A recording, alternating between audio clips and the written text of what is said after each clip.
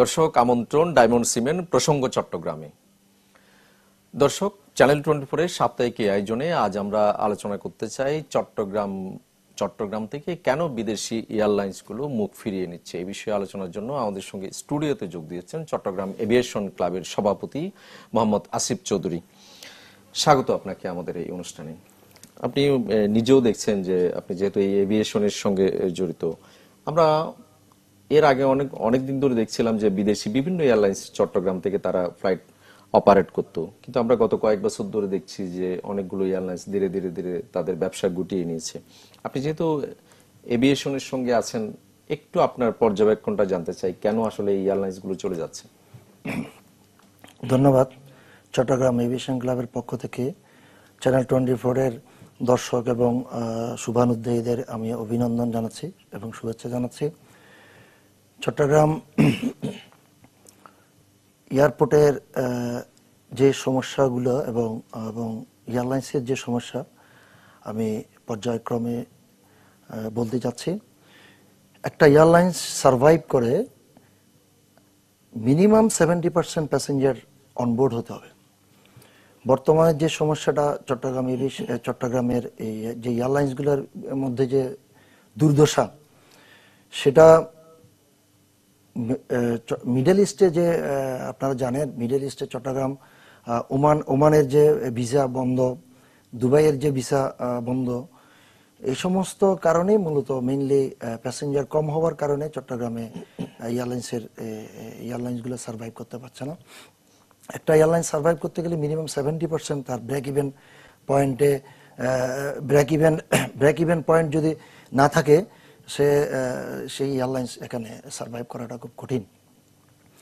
আর globally যে rescission চলছে, যে যুদ্ধ এবং বাংলাদেশে যে জুলাই যে ইয়ে আনস্টেবল যে পজিশন ছিল দেশের যে পরিস্থিতি, সবকিছু মিলে এই মুহূর্তে খুব এয়ারলাইন্সের ইনসাইড আমি বলব ব্লিডিং হচ্ছে এখানে। রক্তক্ষরণ হচ্ছে। ঢাকার অনেক এয়ার এয়ার এয়ার অনেক এয়ারলাইন্সের ফ্রিকোয়েন্সি কমিয়ে দিয়েছেন। চিটাগংয়ে অনলি দুটো বিদেশি এয়ারলাইন্স এই মুহূর্তে সার্ভাইভ করছেন। সবকিছু মিলে খুবই এক- ধরনের কোন কোন এয়ারলাইন্স গত কয়েক বছর চলে গেছে বা আগে কেমন ছিল? ওমান এয়ার চলে গেছে আর জাজিরা চলে গেছে। সর্বশেষ ফ্লাই দুবাই গত মাসে ফ্লাই দুবাই চট্টগ্রাম থেকে তার অপারেশন টেম্পোরারি সাসপেন্ড করা হয়েছে। আরেকটা বিষয় হচ্ছে যে আমরা দেখেছি যে এই সাম্প্রতিক হয়তো দুই এক বছরের মধ্যে হয়তো নানা জায়গায় আনরেস্ট হচ্ছে কিংবা বিশ্বজুড়ে নানা জায়গায় যুদ্ধ হচ্ছে। কিন্তু এর আগেও যখন পরিস্থিতি যখন ভালো ছিল বা বিভিন্ন জায়গায় ভিসা চালু ছিল তখনও দেখ- দেখেছি যে আমরা অনেকগুলো এয়ারলাইন্স ধীরে ধীরে চলে গেছে আসলে। এটা কি আর অন্য কোনো কারণ আছে যে শুধু প্যাসেঞ্জার ছাড়া? কারণ অবশ্যই আছে। যেমন বাংলাদেশে গ্রাউন্ড হ্যান্ডেলিং চার্জ নেওয়া হয় এইট হান্ড্রেড ডলার বিশেষ করে আমি চট্টগ্রামের কথা বলছি। পার্শ্ববর্তী দেশে কিন্তু, না সরি বাইশশো ডলার কিন্তু বাংলাদেশ থেকে, চিটগং থেকে নেওয়া হয় গ্রাউন্ড হ্যান্ডেলিং চার্জ যেখানে ভারত থেকে নেওয়া হয় অনলি এইট হান্ড্রেড ডলার্স যার কারণে এখানে একটা কস্টিং এর বিষয় থাকে। আর চট্টগ্রাম হচ্ছে, এটা মিডল ইস্ট বেসড চট্টগ্রাম, এখানে ওয়ার্ক ভিসা এবং ভিজিট ভিসার উপর একটা ফ্লাইট লংজিভিটি ডিপেন্ড করে। সেখানে বিশেষ করে যখন দুই সালে চট্টগ্রামের তখনকার বিমানমন্ত্রী মীর মোহাম্মদ নাসির উদ্দিন সাহেব সেখানে সিল্ক এয়ারের প্রথম ফ্লাইট চট্টগ্রাম টু সিঙ্গাপুর, এটা সিল্ক এয়ার প্রথম অপারেট করে।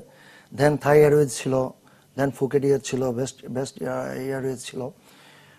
কোনো এয়ারলাইন্সে কিন্তু দিন শেষে সার্ভাইভ করতে পারে নাই। সিল্ক এয়ার বন্ধ হওয়ার অন্যতম কারণ হচ্ছে তখন সার্স ভাইরাস ছিল হংকংয়ে গ্লোবাল ইস্যুসগুলোও কিন্তু বাংলাদেশে এটা ইয়ে- ইয়া করে এটা এয়ারলাইন্সের উপর একটা নেতিবাচক প্রভাব প্রভাব ফেলে।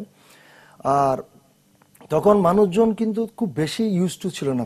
বাইরে যাওয়ার ভিজিট করার বা বিজনেস ট্রিপ বা ফ্যান ট্রিপ যাকে বলা ফ্যামিলি ট্রিপ এবং ওয়ার্ক ভিসা ওরকম বেশি ছিল না।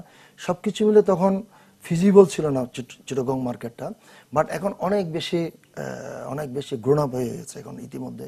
মানুষজন নানানভাবে ভিজিট করে আমাদের অনেক রেমিটেন্স যোদ্ধা দেশের বাইরে যাচ্ছে ভলিউম অনেক অনেক বেড়ে গেছে। কিন্তু তারপরেও বেড়ে যাওয়ার পরেও কিন্তু এখনও কিন্তু আমরা সার্ভাইভ করতে পারছি না। চিটাগং এয়ারপোর্টটা আন্ডার ইউটিলাইজড ইন্টু এখনও আন্ডার ইউটিলাইজড আরেকটা বিষয় হচ্ছে চট্টগ্রাম এয়ারপোর্টটা যদিও আমাদেরকে তৎকালীন এয়ারপোর্ট ম্যানেজার বলেছিলেন twenty four hours in a week twenty four hours twenty four hours daily চালু থাকবে। চালু থাকার কথা কিন্তু এখনও পর্যন্ত ছয়টা থেকে রাত বারোটা পর্যন্ত এয়ারপোর্ট চালু চালু রয়েছেন যার কারণে যে এয়ারলাইন্সগুলো চট্টগ্রাম থেকে অনওয়ার্ড কানেকশন আছে তারা কিন্তু কানেকশনগুলো পায় না। এই এয়ারপোর্ট কেন্দ্রিক যেসব সমস্যা আপনারা ফেস করেন সেটা নিয়ে আমরা একটু বিস্তারিত আলোচনা করব। ছোট্ট একটা বিরতি নিয়ে আসি। থ্যাংক ইউ দর্শক ছোট্ট একটা বিরতি নিব ফিরবো একটু পর। সঙ্গেই থাকুন। আবারও আমন্ত্রণ ডায়মন্ড সিমেন্ট প্রসঙ্গ চট্টগ্রামে। কর্ন মিল্ক কোকোনাট আর বাটারের দুর্দান্ত কম্বিনেশনে ইয়ামি ক্রাঞ্চি টেস্টের পপার বেশি ফান নিয়ে এখন পঁচিশ গ্রামের বিগ ফান প্যাকেট এলো instant milk powder happy cow যেমন সাশ্রয়ী, তেমনি পুষ্টিগুণে ভরপুর। হ্যাপি কাউ ইনস্ট্যান্ট মিল্ক পাউডারের সাথে ফার্মল্যান্ডের চিনি গুঁড়া চাল একদম ফ্রি দর্শক, আমরা আলোচনা করছিলাম চট্টগ্রাম থেকে কেন মুখ ফিরিয়ে নিচ্ছে বিদেশি এয়ারলাইন্সগুলো আমাদের সঙ্গে রয়েছেন চট্টগ্রাম এভিয়েশন ক্লাবের সভাপতি মোহাম্মদ আসিফ আসিফ চৌধুরী। এই যে, আপনি অনেকগুলো এয়ারলাইন্স চলে গেছে, এটা নিয়ে আমরা কথা বলছিলাম। এয়ারপোর্ট কেন্দ্রিক আসলে কি কি ধরনের আসলে সমস্যা মুখোমুখি হতে হয় বিদেশি এয়ারলাইন্স গুলোকে বা যেহেতু আপনি একজন বিদেশি এয়ারলাইন্সের সাথে জড়িত? আমাদের মেইন যে সমস্যা বিদেশি এয়ারলাইন্সগুলো চায় চট্টগ্রাম থেকে অপারেশন করার জন্য মধ্যরাতের ফ্লাইট মধ্যরাতের ফ্লাইটের একটা অ্যাডভান্টেজ হচ্ছে মিডল ইস্ট থেকে চিটগং থেকে যে চার ঘণ্টা ফ্লাইট সাড়ে চার ঘণ্টার যে ফ্লাইট মিডল ইস্টে পৌঁছতে বা পাঁচ ঘণ্টা যেটা লাগে রাত দুটা বাজে পৌঁছলে, ওখানে ছয়টা, সাতটা বাজে পৌঁছানো যায়। সেখান থেকে অনওয়ার্ড কানেকশনগুলো যারা যারা যেমন ওমান এয়ার চিটগং থেকে মাস্কেট যদি যায়, মাস্কেট থেকে যারা ইউরোপের দিকে যাবে, কিংবা আপনার দোহা বা আদার ডেস্টিনেশনগুলোকে তখন ইমিডিয়েট কানেকশনগুলো পাওয়া যায়। তো এক্ষেত্রে আমাদের যেহেতু রাতে, রাত্রে, মধ্যরাতে ফ্লাইটের কোনো অপশন নাই। সো সেখানে পাঁচ ঘণ্টা, ছয় ঘণ্টা হলটিস থাকে। আই মিন ট্রানজিট টাইম এতে থাকার কারণে অনেক প্যাসেঞ্জার ঢাকার দিকে ডাইভার্ট হয়। আর অন্যান্য কারণগুলো তো আছেই। আর যে আরেকটা যে মেজর যে সমস্যা, সেটা হচ্ছে যে আপনার পর্যাপ্ত পরিমাণ বেল্ট নাই। বিশেষ করে সৌদি এয়ারলাইন্স আসার যে একটা প্ল্যান চিটগং থেকে অপারেশন করার একটা প্ল্যান ছিল। এমিরেটস একটা ফাইভ লাইনে আছেন কাতার এয়ারওয়েজ ফাইভ লাইনে আছেন। আমরা ইভেন থাই এয়ারওয়েজেরও একটা প্রজেকশন অলরেডি অন প্রসেসে আছে। চিটগং থেকে ফ্লাইট আবার অপারেশন করার কিন্তু সবকিছু মিলে মধ্যরাতে ফ্লাইটটা মেইন চব্বিশ ঘণ্টা যে অ্যাক্টিভ থাকা, এটাই হচ্ছে যে এই মুহূর্তে বড় ইস্যু আর বিমান যেটা আমরা আনঅফিসিয়ালি যেটা আমি জানি, আমার যতটুকু আমার নলেজ আছে তারা insufficient staff shortage of staff আর আর একটা হচ্ছে যে, আপনার বোর্ডিং ব্রিজেরও একটা ঘাটতি আছে, এটা যদিও বলেছেন ওনারা অগাস্ট সেপ্টেম্বরে করে ফেলবে আমি জানি না এর ভিতর হয়ে গেছে কিনা। আর অন্য কোনো প্রবলেম এই মুহূর্তে আমি আর দেখতে পাচ্ছি না। একটা বিষয় হচ্ছে এই যে যেহেতু বাংলাদেশ থেকে মানে মধ্যপ্রাচ্যগামী যাত্রী সবচেয়ে বেশি এবং আগে যখন অনেকগুলো ফ্লাইট ছিল বা অনেকগুলো এয়ারলাইন্স যখন এখান থেকে অপারেট করতো তখন মানুষের বা এই যে যারা প্রবাসী তাদের যাতায়াতের ক্ষেত্রে বা তাদের এই যে টিকিটের ক্ষেত্রে এক ধরনের তারা মোটামুটি সুবিধা পেতেন, কারণ যেহেতু প্রতিযোগিতামূলক বাজার। এখন যেহেতু ফ্লাইট কমে গেছে বা এয়ারলাইন্সগুলো কমে গেছে, আপনার কি মনে হয় যে এক ধরনের মনোপলি তৈরি হচ্ছে বা প্রবাসী যারা, তারা- তারা আসলে এই জায়গায় এক ধরনের মানে সুবিধা কম পাচ্ছে? যত ফ্লাইট থাকবে এটার অ্যাডভান্টেজ পাবে প্যাসেঞ্জার হ্যাঁ এই মুহূর্তে মার্কেট খুব ডাউন আই মিন খুব বেশি মুভমেন্ট নাই। যার কারণে ফ্লাইট কমে যাওয়ার পরেও এটা খুব একটা নেগেটিভ প্রভাব পড়ছে না মানে প্যাসেঞ্জারের উপর। অবশ্যই যখন আবার ভিসা যখন ওপেন হবে, বিশেষ করে মিডল ইস্টের দুবাই এবং ওমানের ভিসা যখন ওপেন হবে, তখন আবার মনোবলে বিজনেস শুরু হবে যদি ফ্লাইট যদি অন্যান্য ফ্লাইটগুলো যদি চিটাগং থেকে অপারেশন না করে। এটার অবশ্যই একটা প্রভাব, নেতিবাচক একটা প্রভাব পড়ে। প্যাসেঞ্জার যত ফ্লাইট থাকবে, তত প্যাসেঞ্জাররা তার অ্যাডভান্টেজ নিবে।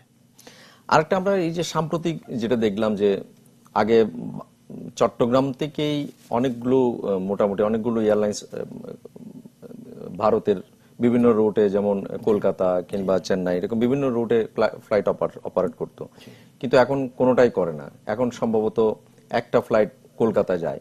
না এখন আমি সরি আমি বলি এই এই ফ্লাইটটাও অনলি হারাদনের একটি মাত্র সন্ধান সেটাও কিন্তু এখন নাই। I mean I mean US বাংলার যে ফ্লাইটটা চিটাগং কলকাতা ছিল এটাও বন্ধ হয়ে গেছে।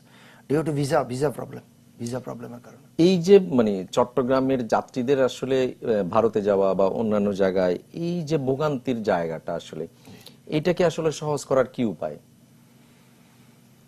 এটা ভিসা বিশেষ করে আমি যদি ভারতের কথা বলি এটা ভিসা যতক্ষণ ওপেন করা হবে না যতক্ষণ যে এই ইয়া থেকে এই জটিলতা থেকে যতদিন উত্তরণ হবে না তখন তো আর কোনো বিকল্প নাই। শুধু মেডিকেল ভিসা দিয়ে যাচ্ছে। মানে এখন চট্টগ্রাম থেকে ঢাকা হয়েই তো মূলত যেতে হচ্ছে। তাও ঢাকা থেকে যেতে হচ্ছে ঠিক আছে কিন্তু বাট ঢাকা থেকেও ফ্রিকোয়েন্সি কমে গেছে।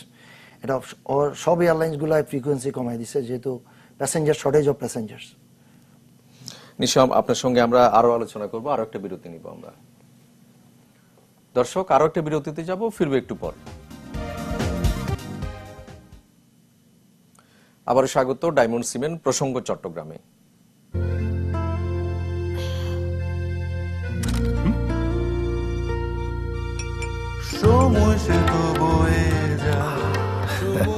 এভাবেই সময় পাল্টে যায় কিন্তু ডিপ্লোমা সে একই সাথে একই মানে যুগ যুগ ধরে রয়ে যায়। excellence in quality. দর্শক আমরা চট্টগ্রামের এভিয়েশন সেক্টর নিয়ে আমরা আলোচনা করছিলাম। আমরা অনেকগুলো সংকটের কথা বলছি। কিন্তু এই চট্টগ্রাম শাহমানত আন্তর্জাতিক বিমানবন্দরকে ঘিরে বা চট- পুরো চট্টগ্রামকে ঘিরে আসলে এভিয়েশন সেক্টরের তো একটা বড় সম্ভাবনা নিশ্চয় আছে। আপনার দৃষ্টিতে আসলে কোন কোন জায়গায় এই সম- সম্ভাবনাগুলো আছে? যদি আমরা টাওয়ার ওয়াচ যদি আমরা টোয়েন্টি ফোর আওয়ার্স যদি অ্যাক্টিভ করে অ্যাক্টিভ রাখি প্রথম হচ্ছে যে ফার ইস্টের যে এয়ারলাইন্সগুলো ওয়েস্টের দিকে যায় আমরা ফুয়েলিং হাফ করতে পারি। আমরা গ্রাউন্ড হ্যান্ডেলিং চার্জটা একটু কমিয়ে ইন্টারন্যাশনাল মানে যদি আমরা রাখতে পারি তাহলে অনেক এয়ারলাইন্স এখানে আসবে। আর যে শর্টেজ বিমানের যে শর্টেজ অফ স্টাফ এবং boarding bridge belt counter counter বাড়ানো চেকিং কাউন্টার বাড়ানো এই কাজগুলা একটা থ্রাস সেক্টর হিসেবে যদি চিন্তা করে যদি আমরা খুব দ্রুত একটা ইনিশিয়েটিভ নিই তাহলে অনেক এয়ারলাইন্স চিটাগং থেকে অপারেট করবে। আর এটা সুবিধা চট্টগ্রামবাসী ভোগ করবে। ঢাকা যাওয়ার যে হ্যাসেল ঢাকা যাওয়ার যে আমাদের চট্টগ্রামের যে লোকজনের যে কষ্ট, সেখান থেকে উত্তরণ হবে। আরেকটা বিষয় হচ্ছে, যদি আমরা এই গ্রাউন্ড এই চট্টগ্রাম এয়ারপোর্টকে যদি কোনো প্রাইভেটাইজেশনে যদি কোনো কোম্পানি কে দেওয়া হয়, যখন দুই হাজার আমার যতদূর মনে পড়ে, তৎকালীন বিএনপি সরকারের সময় সাবেক বিমানমন্ত্রী এটা একটা ইনিশিয়েটিভ নিয়েছিলেন। যদি গ্রাউন্ড হ্যান্ডলিং চার্জটা যদি প্রাইভেটাইজেশনে দেওয়া হয়, তাহলে অনেক এয়ারলাইন্স এখানে ওদের বিজনেস ইয়ার প্রফিট চিন্তা করে, ওরা নিজেদের উদ্যোগেই অনেক এয়ারলাইন্সকে এখানে আমন্ত্রণ জানাবে এবং যে ল্যাকিংসগুলো যে শর্টেজগুলো আছে, এগুলা খুব দ্রুততার মধ্যে এগুলা সমস্যাগুলো সমাধান করবে। কিন্তু আমরা তো দেখেছি যে, এর আগে একাধিকবার এই যে, এই এয়ারপোর্টের অপারেশনাল দায়িত্ব বিদেশি এয়ারলাইন্স বা বিদেশি প্রতিষ্ঠানকে দেওয়ার উদ্যোগ বাস্তবায়ন করা যায়নি। আপনি এটা মানে যুক্তিটা কি যে আসলে এটা বেসরকারি প্রতিষ্ঠানকে দিলে এটা লাভজনক হবে বা ফ্লাইট অপারেশন বাড়বে? অ্যাকচুয়ালি বাংলাদেশ সরকারের আন্ডারে যতগুলা প্রতিষ্ঠান আছেন ব্যাংক বলেন যে কোনো প্রতিষ্ঠান, একটু এখন, এখনকার যুগ হচ্ছে খুব ফাস্ট প্রোয়াক্টিভ কিন্তু গতানুগতিক ট্রেডিশনাল ওয়েতে যে আমরা তান্ত্রিক যে জটিলতাগুলো যে প্রসেসিংগুলো এখানে অনেক সময় ক্ষেপণ হয়। লাল ফিতার জায়গা আমরা যাকে বলি লাল ফিতার দূরত্ব। এটা থেকে উত্তরণ করতে না পারলে সেটা বিদেশি বিনিয়োগ বলেন আর এয়ারলাইন্স বলেন সব জায়গায় কিন্তু একই একই সমস্যাগুলো আমাদেরকে ফেস করতে হয়। আর সবশেষে যদি জানতে চাই যে এই বিমানবন্দরে আসলে প্রবাসীদের বিশেষ করে মধ্যপ্রাচ্য মধ্যপ্রাচ্যগ্রামী প্রবাসীদের আসলে যাতায়াত বেশি।